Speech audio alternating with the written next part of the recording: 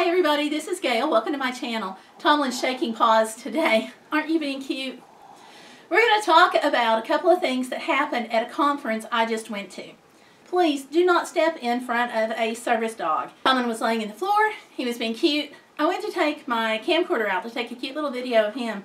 And about that same split second, somebody walks right behind, beside him, just inches from his pretty little nose.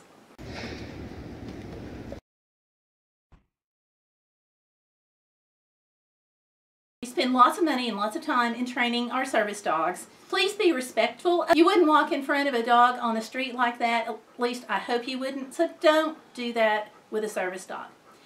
You got anything else you wanted to say, bud?